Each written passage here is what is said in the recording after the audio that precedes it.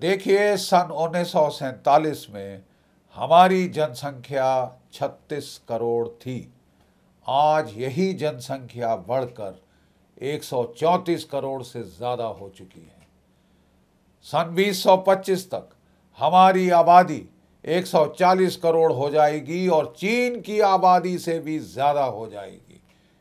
इस बढ़ती आबादी के बोझ से हमारा जो देश का वजूद है, वही खतरे में पड़ सकता है। हमारी तमाम अर्थव्यवस्था चरमरा जाएगी पॉपुलेशन के इस बोझ से। इसलिए मैं टैक्स ऐप के पॉपुलेशन नियंत्रण के प्रोग्राम्स का पूर्ण रूप से समर्थन करता हूँ और अभिलाषा करता हूँ कि आप भी भारत के नवनिर्माण में पूर्ण रूप से सहयोग प्रदान करेंगे। जय भारत।